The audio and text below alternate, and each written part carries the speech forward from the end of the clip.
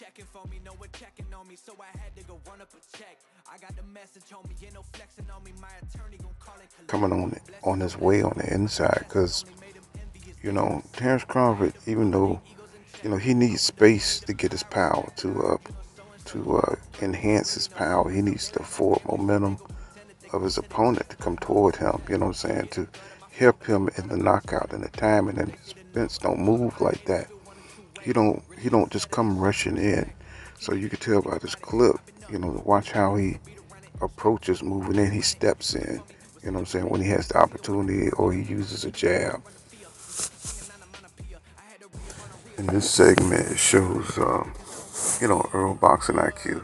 You know what I'm saying? He's hiding his um, his left uppercut by implanting his body. You know what I'm saying? What Ugas can't see. You know what I'm saying? When he he's gonna throw that left uppercut. So that's why I was catching him because uh, Ugas was trying to figure out what he was gonna do, and um, with uh, Spence Jr. playing it between him and his um, his left.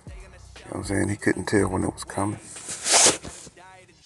Yeah, he was putting it between his um, uh, Ugas, you know what I'm saying, his, his vision, blocking his vision so he didn't know when that punch was coming. I just wanted to clarify.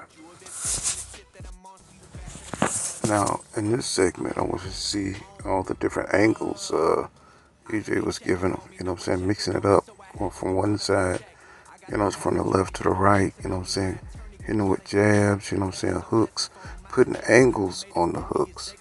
And uh, Ugas was just confused. He didn't know which way the punches were coming from. And um, this is why, you know, Terence Crawford's going to need a lot of space. You know what I'm saying? He's going to have to box. You know what I'm saying? Because he's not going to be able to stop um, EJ on the inside, and he's not going to be able to handle that activity because Terence Crawford don't fight like that. You know what I'm saying? He picks his spots. Yeah, you know, um, you know, look, look at how uh, EJ relentlessly pressures forward, and that means Terence Crawford's gonna have to hurt him. He's gonna have to knock him out. He's gonna have to, you know, he's not gonna be able to just hurt Errol Spence Jr. one or two times. He's gonna have to get into a dogfight to survive. You know what I'm saying? In my opinion, because you know he just pushes forward. He continues even when he get hits with good shots. And I know everybody think Terence Crawford got the the hammer Thor in his hands, but that's not going to work for somebody with EJ's punch resistance. And that's the key to beating Terence Crawford, to be able to weather the storm and to be able to get to his body because nobody's really ever broke uh, Terence Crawford down like that.